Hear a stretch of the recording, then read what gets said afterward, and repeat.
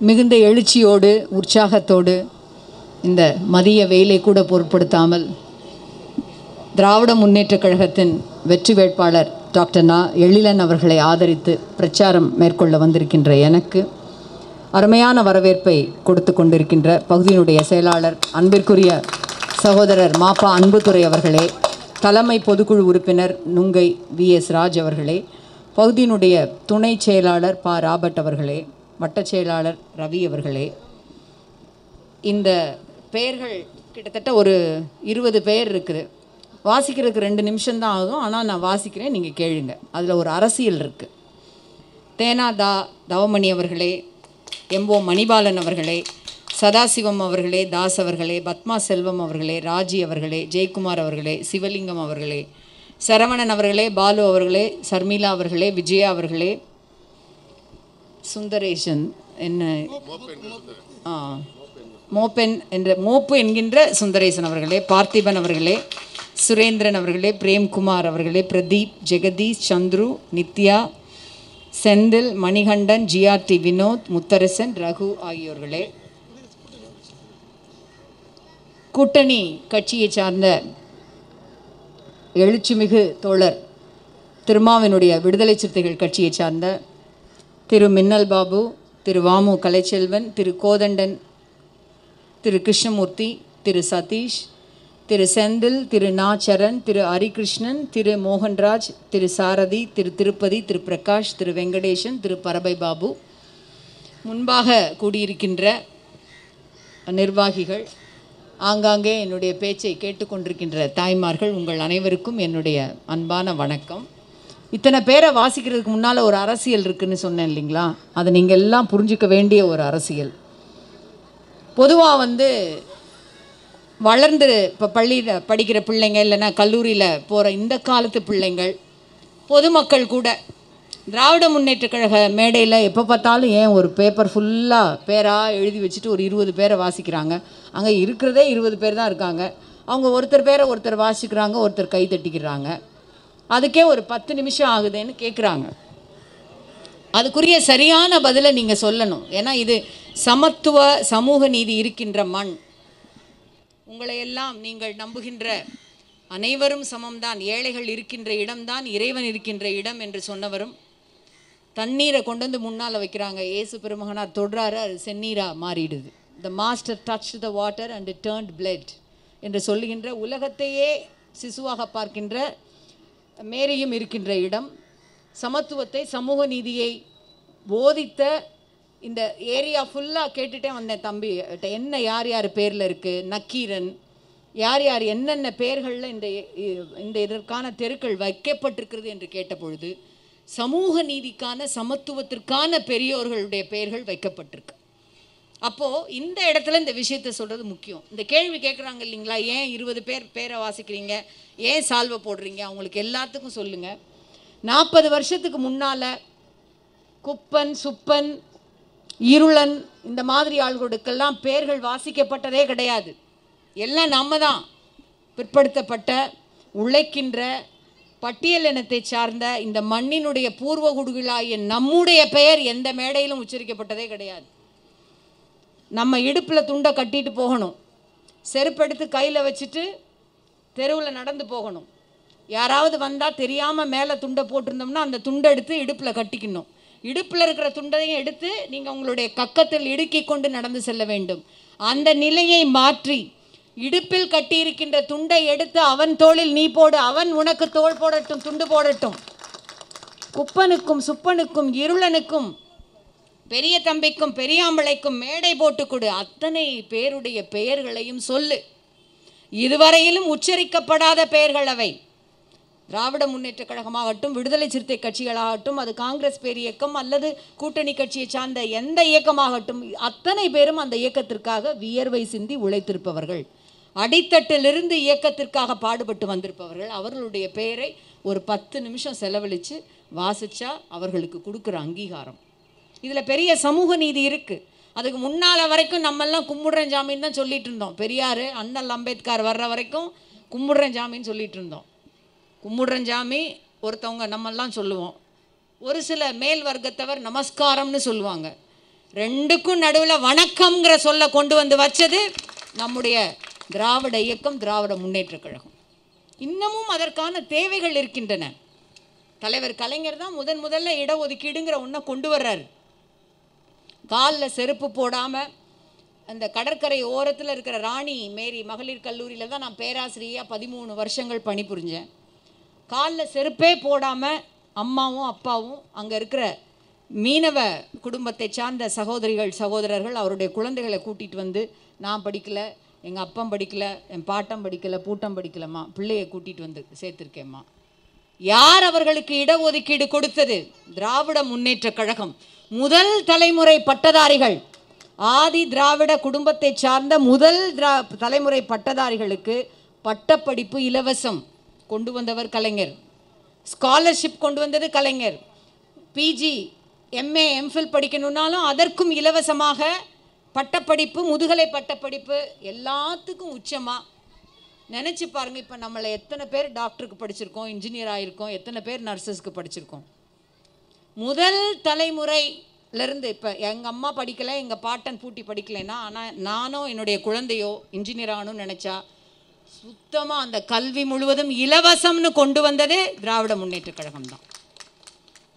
ஏன்னா இன்னமும் இப்போது அண்ணல் அம்பேத்கர் உங்களுக்கு நம்ம எல்லாம் விடிவு காலத்தை நோக்கி அழைத்து சென்ற தலைவர். ஒரு முறை இப்படி இருக்கிற பத்திரிகையாளர்கள்லாம் இந்த இருக்காங்க இல்லைங்களா? அவங்கள போல பத்திரிகையாளருக்கு மூன்று பேரை சந்திக்கிறதுக்கு நேரம் கேட்டிருக்காங்க. ஒருத்தர் வந்து மகாத்மா காந்தி இன்னொருத்தர் ஜனாப் ஜின்னா இன்னொருத்தர் அண்ணல் அம்பேத்கர். மூன்று பேரையும் சாயந்தரம் எட்டு மணிக்கு மகாத்மா காந்தி பத்து மணிக்கு ஜனாப் ஜின்னா பதினோரு மணிக்கு அண்ணல் அம்பேத்கர். மூணு பேரும் நேரம் கொடுக்குறாங்க பத்திரிகையாளர் ஒருத்தரை சந்திப்பதற்கு. போகிறார் பத்திரிகையாளர். ஒரு அங்கங்கே தாமதமாகி எட்டு மணிக்கு மகாத்மா காந்தி தந்தையை சந்திக்க வேண்டியவர் ஒம்போதரை மணிக்கு போகிறார் அண்ணல் அவருக்காக அவ்வளோ நேரம் காத்துட்டு இருந்துட்டு தூங்க போயிட்டார் அப்படின்னு செய்தி சொல்லப்படுது. உங்களுக்காக தான் மகாத்மா காந்தி ஒன்றரை மணி நேரம் காத்துட்டு இருந்தார். இப்போ தான் படுக்க போனார். நைன் தேர்ட்டி ஆயிடுச்சு. ஸோ வேகமாக லேட்டாக போனது நம்முடைய தவறு தான் என்று உணர்ந்து கொண்ட பத்திரிகையாளர் திரும்பி சென்று விடுகிறார். இங்கே ஒன்றரை மணி நேரம் தாமதமானால் ஜின்னா அவரை பார்க்குறதுக்கும் ஒன்றரை மணி நேரம் தாமதமாகும் இல்லையா? அவரை பார்ப்பதற்கு ஒன்பது மணிக்கு போகிறதுக்கு பதில் பத்தரை மணிக்கு போகிறார் ஜின்னா அவர்களும் அவர்களுக்காக காத்து கொண்டிருந்து விட்டு அப்பொழுதுதான் படுக்கச் சென்றதாக செய்தி சொல்லப்படுது. அவசர அவசரமாக போய் அண்ணல் அம்பேத்கரை பார்க்கறதுக்காக ஒரு மணிக்கு போகிறார் அவர் இருக்கிற இடத்துக்கு. அண்ணல் முழித்து கொண்டு பத்திரிகை படித்து கொண்டு இவருக்காக காத்து கொண்டிருக்கிறார். அந்த பத்திரிகையாளர் அண்ணல்கிட்ட போய் கேட்டாராம் இன்றைக்கே எனக்கு மூன்று பேரை பார்ப்பதற்கு நான் நேரம் வாங்கியிருந்தேன். மகாத்மாவிற்கு என்னுடைய தாமதம் தான் ஒன்றரை மணி நேரம் கழித்து சென்றதால் என்னால் பார்க்க முடியவில்லை. திரு ஜனாப் ஜின்னா அவர்களையும் பார்க்க முடியவில்லை. ஆனால் உங்களை சந்திப்பதற்காக மூன்று மணி நேரம் நான் தாமதமாக வந்தேன். நீங்கள் மட்டும் விழித்துக்கொண்டு படித்துக்கொண்டு எனக்காக காத்திருந்தீர்களே. ஒரு மணி வரைக்கும் இது எப்படி சாத்தியம்னு? அதுக்கு அண்ணல் சொன்ன பதில்தான். நீங்கள் எல்லாம் குறிச்சு வச்சுக்க வேண்டிய பதில். அவர்களுடைய மக்களெல்லாம் ஏற்கனவே விழித்து கொண்டு விட்டார்கள். ஆகவே அவர்கள் தூங்க போய்விட்டார்கள். என்னுடைய மக்கள் இன்னமும் விழிக்கவில்லை. ஆகவே அவர்களுக்காக நான் விழித்து படித்து கொண்டிருக்கிறேன் என்று சொன்னாராம். இன்னமும் அதற்கான ஐஐடியில் இப்போ நம்ம நுழைய முடியுமா இன்னும்? எய்ம்ஸுக்கு போக முடியுமா இன்னும் நம்ம? இப்போ கொண்டு வந்துட்டாங்க நர்சிங் படிப்புக்கு நீட்டு கொண்டு வந்துட்டாங்க. எத்தனை பேரால் இங்கே இருக்கிற எத்தனை பேர் இல்லை கிராமத்தில் இருக்கிற எங்களை போல் எத்தனை பேரால் கோச்சிங் கிளாஸ்க்கு ஒன்றரை லட்சம் ரெண்டு லட்சம் கொடுத்து சேர்த்து விட்டு நீட் பாஸ் பண்ணி பாஸ் பண்ணாலும் நல்ல கல்லூரி எடுத்து எத்தனை பேரால் சேர்க்க முடியும்? அனிதா முதற்கொண்டு எத்தனை உயிர்களை இழந்திருக்கோம்? இப்போ நர்ஸ் படிப்புக்கும் நீட் தேர்வு கொண்டு வந்திருக்காங்க அப்போ அதற்கான தேவை இன்னமும் இருக்கிறது. போராடுவதற்கான தேவை. நமக்காக ஒடுக்கப்பட்ட பட்டியலினத்தை சார்ந்த ஏழை எளிய மக்களுக்காக நிற்பது திராவிட முன்னேற்றக் கழகம். அவர்களுக்காக அத்தனை விஷயங்களையும் தொடர்ந்து முன்னெடுத்து செல்வதுதான் திராவிட முன்னேற்ற கழகத்தின் நோக்கம். இப்போ இருக்கிற தேர்தல் அறிக்கையில் சொல்லியிருக்காரு. தளபதி சொல்லியிருக்கிறார். ஸ்காலர்ஷிப் ஆதிதிராவிட மாணவர்களுக்கு பிற்படுத்தப்பட்ட மிகவும் பிற்படுத்தப்பட்ட மாணவர்களுக்கு கொடுத்திருந்த ஸ்காலர்ஷிப்பை மத்திய அரசு பாதியாக குறைச்சிருக்கு. தெரிஞ்சுக்கணும் இதெல்லாம் நீங்கள் பிஜேபி அரசாங்கம். இங்கே இருக்கிற அதிமுக அரசாங்கம் வாயை திறந்து ஒன்றும் சொல்லலை ஒரு துரும்ப கிள்ளி போடலை. தலைவர் சொல்லியிருக்கிறாரு திமுக ஆட்சிக்கு வந்தவுடன் உதவித்தொகை நிச்சயமாக ரெண்டு மடங்காக உயர்த்தி தரப்படும். கல்விக்காக கடன் வாங்கி முப்பது வயசு வரைக்கும் கடனை கட்டாமல் இருந்தால் கூட பரவாயில்ல. கடன் அத்தனையும் நாங்கள் தள்ளுபடி செய்வோம்னு சொல்லியிருக்கிறார். பெண்களுக்காக இன்னைக்கு இந்த பிஜேபி அரசாங்கம் பெட்ரோல் விலை கேஸ் விலை எல்லாத்தையும் கூட்டியிருக்கு. ஆனால் அந்த அதிமுக அரசாங்கம் என்ன சொல்லுது? பெட்ரோல் விலைக்கும் எங்களுக்கும் அந்த ஏற்றத்துக்கு சம்பந்தம் இல்லை. இந்த அரசாங்கம் மத்திய அரசாங்கம் தான் சம்பந்தம். அதுதான் பொறுப்புன்னு சொல்லுது. நீங்கள் அதையும் தெரிஞ்சுக்கோங்க. அதுக்கு தான் இவ்வளோ கத்த பேப்பர் பார்த்து நீங்கள் பயப்பட வேணாம். பெட்ரோல் ப்ரைஸ்க்காக கொண்டு வந்தேன் குறிச்சிட்டு உங்களுக்கு. சரி பார்க்காமே சொல்லலாம். பெட்ரோலுடைய அடிப்படை விலை வந்து முப்பது ரூபா ஐம்பது காசு தாங்க. ஒரு லிட்டருடைய அடிப்படை விலை. இப்போது மத்திய அரசு அதுக்கு போடுற வரி வந்து பதினாறு ரூபா ஐம்பது காசு. நம்ம அரசு அதிமுக போடுற வரி வந்து முப்பத்தெட்டு ரூபா ஐம்பத்தஞ்சு காசு. நினச்சி பாருங்க. மத்திய அரசாங்கத்திட்ட போய் கேட்டால் ஏன்னா உலகம் ஃபுல்லாக இந்த பெட்ரோல் தயாரிக்கிற கச்சா பொருள் ஒரு மூலப்பொருளான அந்த கச்சா எண்ணெயுடைய விலை குறைஞ்சிருச்சு. உலகம் ஃபுல்லாக குறைஞ்சிருக்கிறப்போ நீங்கள் ஏன் குறைக்கக்கூடாதுன்னு கேட்குறப்போ மத்திய அமைச்சர் சொல்கிறாரு எங்களால் குறைக்க முடியாது. அதுக்கு பேர் கலால் வரி எங்களால் குறைக்க முடியாது. கையை விரிச்சிட்டார். அப்போ மாநில அரசாங்கம் அந்த முப்பத்தெட்டு ரூபா ஐம்பத்தஞ்சு காசில் குறைக்கலாம்ல? எந்த விதமான அறிவிப்பும் இல்லை.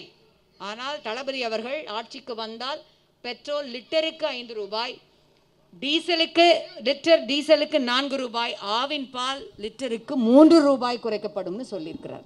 எல்லாமே சாத்தியமான விஷயங்கள் தான்.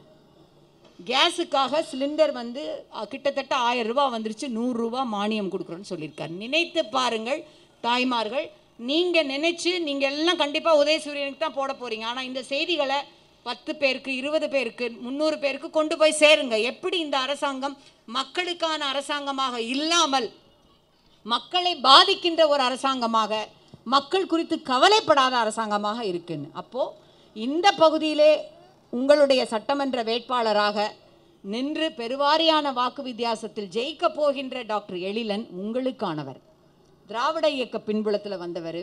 சமூக நீதி சமதர்மம் இது மாதிரியான கொள்கைகளில் மருத்துவராக இருக்கிறப்ப முக்கால்வாசி ஏழைகளுக்கு தான் அவர் வந்து சேவை செய்வார். நல்லா கேட்டு பார்த்தீங்கன்னா தெரியும். தன்னுடைய அந்த மருத்துவ படிப்பை தன்னுடைய மருத்துவ உத்தியோகத்தை வாழ்க்கையினுடைய ஒரு பிரயோஜனமான ஒரு ப்ரொஃபஷனாக வைத்துக்கொண்டு அந்த வழியிலே சென்று கொண்டிருந்தவரை வேட்பாளராக தளபதி நிறுத்தியிருப்பதற்கு காரணம் உங்களில் ஒருவராக உங்களோடு கலந்து உங்களுக்கு பணியாற்றுவார் என்பதுதான். அவருக்கு உதயசூரியன் சின்னத்தில் வாக்களித்து பெருவாரியான வாக்கு வித்தியாசத்தில் வெற்றி பெறச் செய்ய வேண்டும்.